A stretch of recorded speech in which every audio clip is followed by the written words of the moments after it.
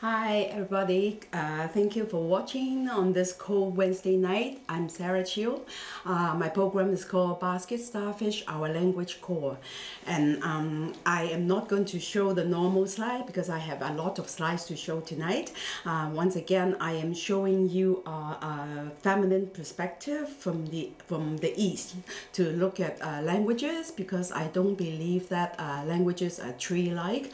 I actually proposed uh, as uh, basket starfish.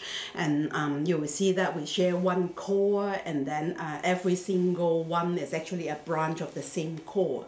And and as far as I can see that uh, it's uh, actually uh, like a globe itself you know like a brain also. So I will show you every single alphabet. They are in their position because of a reason. I have talked briefly about A and K and I have been taking many weeks to talk about H the airy sound of H and the sound which is linked together to a thread and which actually extended to become uh, the mother thread, the umbilical cord. And today I'm going to talk a little bit about, you know, the extension of this umbilical cord, which is the vacuum itself, which, you know, actually share a lot with the uh, ancient view of the cosmos. So uh, I'm going to start the slide today. Mm. Okay.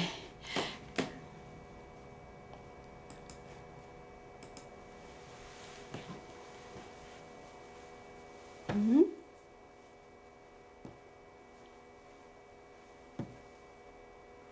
Okay, that's it.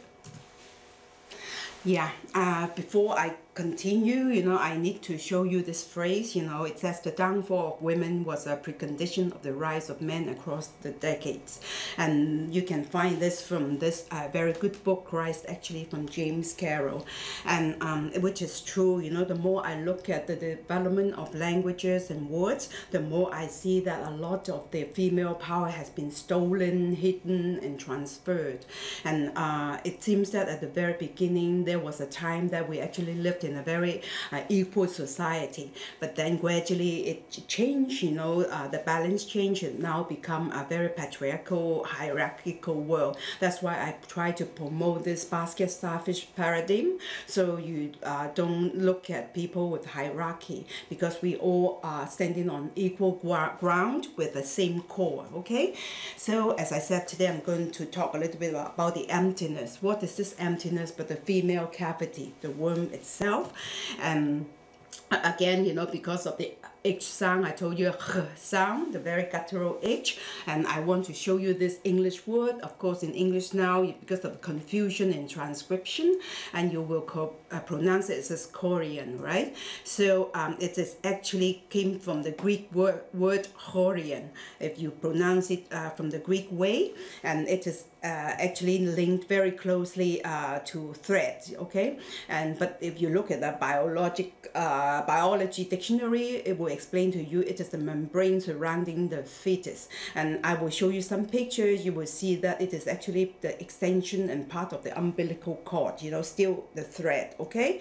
And first of all, I want to remind you of the hieroglyphic H, sound, guttural H, the Chinese Hai sound, and then the Greek okay?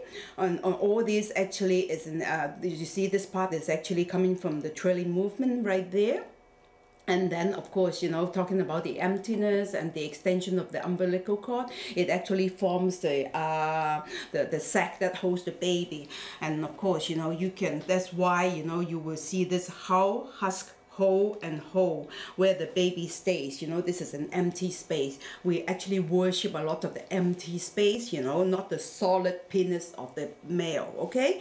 And but then of course you know this too uh, as i uh, talked uh, weeks ago you know about the difference between the light H, you know, which came as three lines since the Ugaritic time and also the same in Chinese. And it is the airy movement. And actually you can also share it with the, uh, I write it in different color and, and smaller, um, uh, small writing and show the same word because it actually linked to the haze, you know, which is air itself, which is in Cantonese, it's still pronounced as hey, a very light H, and still pronounced as hawa in Arabic. So this air is still exists in uh, very strongly in our languages. So you can see that the guttural h and the H in a human concept. Sometimes it just flip between the two idea. You can understand it as the thread and because of the female cavity, it is part of it, it actually also become um, the, the thread, okay?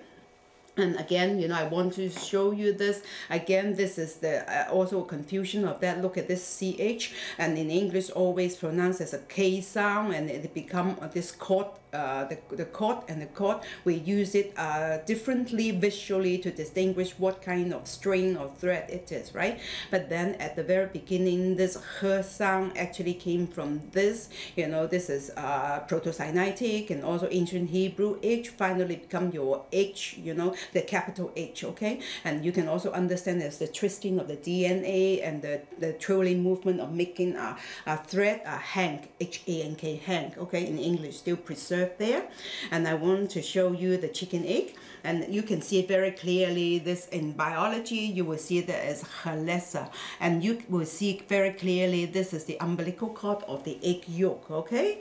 And then as the egg uh, becomes uh, bigger more developed you know this uh, the word came out is chorion okay? And of course in English you still pronounce it chorion and it has actually become this sac which links to the blood vessels that feed the chicken itself. But how when it comes to um, human being. I will show you the picture of a human being and you see this is a very direct uh, word of the Korean or the chorion. Um, you, you can see that this is the umbilical cord. The whole chorion, this sac, this membrane itself is a continuation and extension of this cord. That's why the h sound actually continue uh, since ancient time. Uh, we don't see a lot of birth or death or whatever because we don't live in an agricultural society. We don't hurt anymore. But if you live with them, you live with the farmer, live with the uh, uh, shepherds, you actually see the birth, you know, quite often. And in the olden days, you know, um, even when I lived in, in a less developed part of the world, and you will see a lot of uh, babies uh, coming out, you know, almost every single day because uh, the fertility is still very much worshipped. The more people you have, the more powerful your tribe is. So this is something very important. So I bring you to the image of this her sound. And of course, you know, um, when this uh, cord extended to this empty sac, you can understand it as the hull, the husk, the hold, and the whole, okay? Everything is as empty that actually a baby, a life can go in and, and, and came out from it, okay? And um, again, this is the metaphysical emptiness that the ancient actually understood it much better than our modern men. And um, I travel from place to place. You know, this is something that I actually see in uh, quite a number of places. Um, this picture is from Malta that I took from the uh, uh, internet. And um, I have also seen that in Yemen and in, in uh, few places in the very remote part in the Middle East. Sometimes they dig uh, the out, uh, they actually empty out big pieces of boulder and inside sometimes they store grain or sometimes they use it store, to store water. And um, the way you know you, you look at it as if you look at the ancient hieroglyph either the female vulva and actually the water tank is uh, has a pronunciation of hum okay?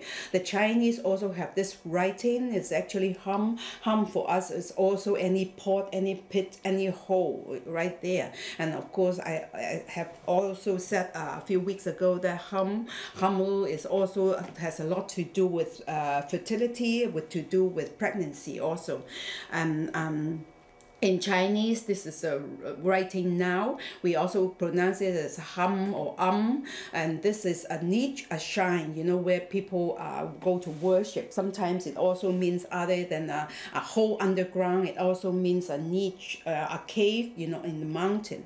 So uh, all in all, you know, it, when you see the reality, you will understand it. So uh, when we read books, you know, sometimes it's very difficult to convey the meaning. You have to live through all these languages. And again, the Chinese have this word as hao. Hao for us is uh, the, the unit of a well and the spring and also uh, the mouth and the exit. And um, in Arabic, this word how, how is what uh, this is like, you know, uh, what are the, uh, it's like a system, you know, that you put food or water in and this is what they call how. And of course, the same somehow will be the empty uh, space, you know, of, of, of, of some kind of a body, like a ship, the, the hull of a ship, and you will understand that it is the actual emptiness again. And then in German, this Hülse is also, you know, an empty case, you know, a casing. And no wonder, you know, if you look at, if you're Orthodox, you know, whenever you look at those um, uh, picture icons about uh, the uh, nativity, you will always always see that you know Mary somehow you know lies in uh, some kind of a worm-like thing with Jesus uh, right next there inside a house okay? And um, of course you know uh, extension of the word the sound actually uh, go from language to language. So that's why I keep saying that we share one core. The German Hülse actually have a, something very similar to the Cantonese Hui you can see that we still have that uh, that uh, libation dish right there. Hui for us is the very, very beginning of the cosmos. We say it Hui or we say it home. It actually means emptiness. And of course, in um, uh, Hebrew, you have this home. Where you find this home is in Genesis 1.2. Okay? Uh, now the earth was formless and void, and darkness was over the surface of the deep. This deep word is actually come from the uh, uh, uh Hebrew word home home right there. And this deep deep uh, emptiness space. Sometimes it's described as, um, you know, filled with water. Sometimes it's just emptiness. But you can see that, you know, uh, it says the Spirit of God was hovering over the surface of water. In this case, you know, it actually tells you that this deep is actually filled with water right there. So I want to show you one very interesting thing. If you recognize it from the internet, this is what they call the sarcophagus of Khufu. Of course, you know, this is the fourth dynasty ancient Egyptian uh, pharaoh and you see Khufu is still you know claiming of course you know the Hu the Hu sang He sang is very very important. As as as in any other cases you know this is also the ancient link you know. And uh, but then um, you have to understand through whose lenses are we understand all this history. Because all the historian all the Egyptologists most were led by the by uh, a lot of uh, male scholars you know in since you know about you know 100 200 years ago 150 years ago and then they keep telling you that this is the, inside the pyramid itself you know in the center of it this room right there this is the sac uh, sarcophagus of uh, Khufu. But then uh, it's, it's interesting that they didn't find anything and not even a lid, you know. So if you insist that um, uh, the um, the passage inside the pyramid was so so uh, narrow. So how would the tomb robbers you know rob the place of the the, the, the, the, the top the cover the lid? And where has it gone? There is no so maybe there was no lid. And they called it the king's chamber. By the naming the place they already give you you know which direction to think you know? Uh, how about if I propose that it isn't actually a king's chamber? It, it, it was actually just you know an empty system that the ancient actually used to worship. This is like a female worm. This is the ancient deep that the Bible was talking about. Maybe it is much, much older than they expected it to be. As, as a lot of the argument was still talking about, you know, the uh, pyramids were uh, a, a lot older than they thought they were. So this is just a proposal. And I just want you to think things twice um, over, you know, to, to, to see who is presenting you the, the, the, the opinion, the view, okay? So again, you know, take attention to this uh, metaphysic emptiness the ancient understood that we lost con we lost contact of, okay? So in the very early uh, thing, uh, time, you know, I guess we have a very, very, uh, um, a much more equal society because in the Chinese you will see that is uh, like a dualism. Everything is dual with male and female part, not just the male. Okay, God is never, never just a male. That's why even in the Bible, you know, God always presented as Elohim. It is a plural form. Okay, so why is it that it's only male that they want to tell you? So this is Chinese, of of course, it says that one is the male, one is the female. And interesting part is that they always refer to the dark part, uh, the mysterious part as the female. But it, uh, one thing you have to pay attention, the male is always going down. The female is actually going up, okay? So um, uh, this is exactly like uh, when the uh, Greek was telling you that at the beginning of the world is made, uh, is from chaos, right? Again, you pronounce it chaos, uh, but if you pronounce it like a Greek, um, sorry, all the Greek, I might not pronounce it as good as you are, but I'm just giving people an idea, okay? So as chaos, okay? So a chaos, you know, as you can see, you you can actually understand a, a lot of the understand a lot of the symbol. They were moving symbols, you know, they are not that symbols. So uh, it's the same way that the Chinese understood it as the same way. Um, it's this, it is just the churning, the movement, the circular movement that actually create a lot of things, you know, our existence. And uh, also, if you look at even the Arabic writing, you will understand it as the eye of the um, of a, of a typhoon or a hurricane okay you can actually understand it as that way. This is actually the the the, the writing ain in in arabic. And ain itself as also means the eye you know the center and I will show you uh, also the spring on the on the fountain. And the Chinese actually uh, draw uh, an eye, and uh, in Cantonese we still uh, conserve the pronunciation of an. Okay, it is a nasal sound, and then an. Okay, and it also exactly means the same: the eye, the hole, the spring, the well. And then uh, in ancient Hebrew, this is ein Ain, okay? And then as time went by, it actually become a very clear pubic triangle right there. You can look at it as a Y, whatever you, you, you prefer.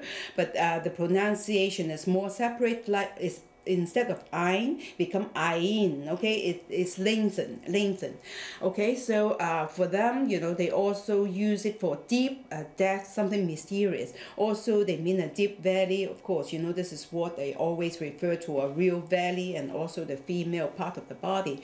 And also this is a word that always used you know to mean the people the flock like I'm I'm actually in um in Hebrew actually means the people, the flock. So it is the herd, okay? So the Chinese actually seems to break this two, two sound up or the Hebrew actually combines the two sound one way or the other. This is yam, as you see the triangle, the pubic triangle turned upside down. You know, we said we understood that's the mountain. But anyway, this is the valley where the water flows, okay? And we pronounce it as yam or yin.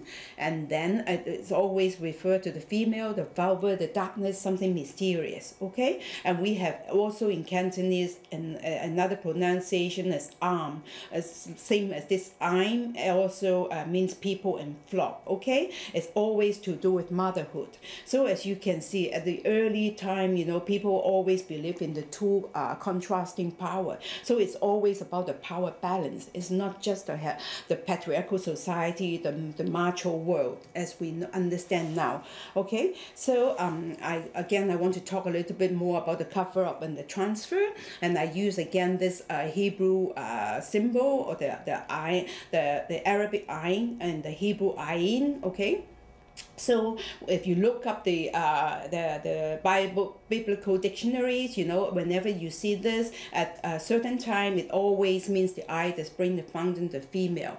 And interesting enough, this is this female word in Taiwan in their dialect, they still have a pronunciation called ai. Ai is also actually uh, the mother, the motherhood. You know, it's very very similar to the uh, Hebrew pronunciation. These you cannot find find them in the dictionary. They are verbally transferred from generation to generation in the dialect.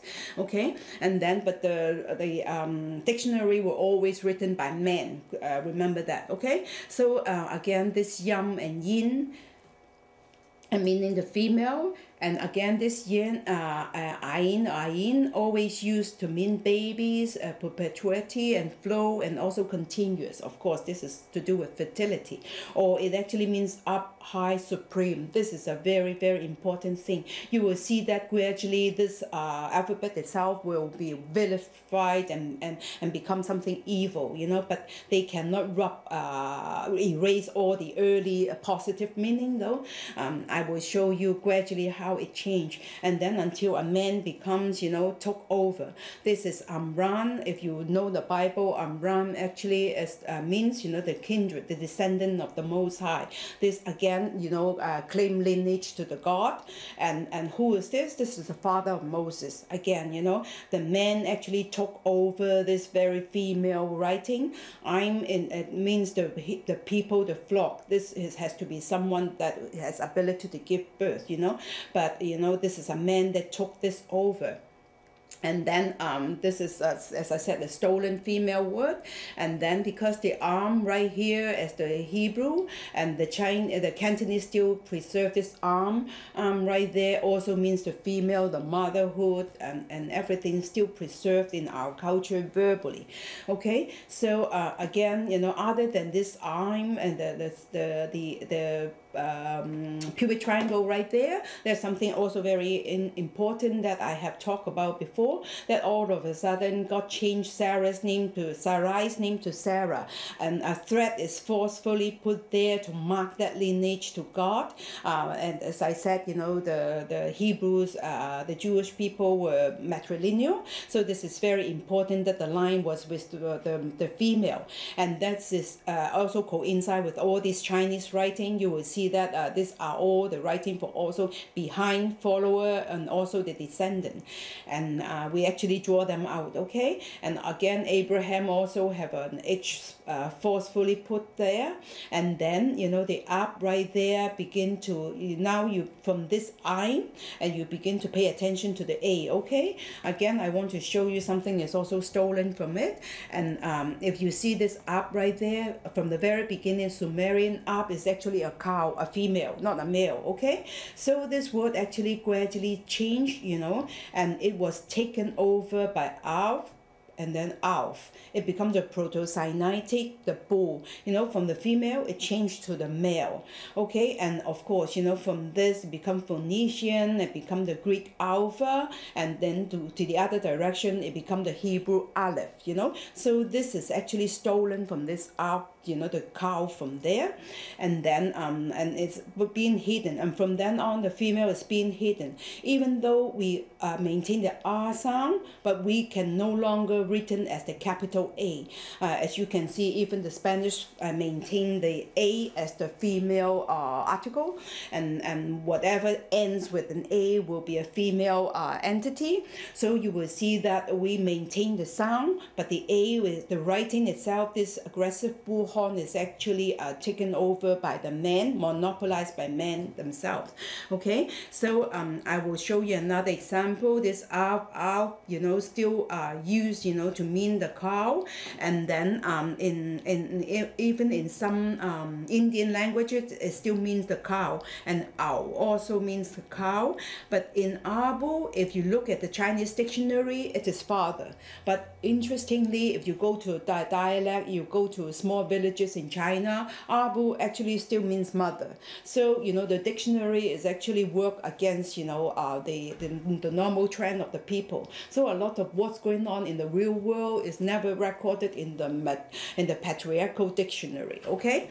This is the point I want to make and then back to the Hebrew, the Jewish world, and then you will see that gradually, you know, a lot of the A word, uh, the the uh, in Hebrew in the Bible will always mean ability, vigor, power, wealth. You know, all this good uh, quality transfer from the female to the male, and uh, I will show you. I will compare two words, so you will see it very very clearly. You see these two words in Hebrew, they spells are uh, very very similar except the beginning uh, symbol. This one is the the, pubic triangle. This one came from the bull from the bull itself, and and they actually pronounce very similar. One is O, the other is owl. This is where your aurora or aura comes from. You know, the morning, the sun. Okay, and but you look at the uh, Hebrew dictionary. Uh, this one actually means blind, evil, crooked, dense, dark. You know, all the female quantity quality that they always refer because of this pubic triangle.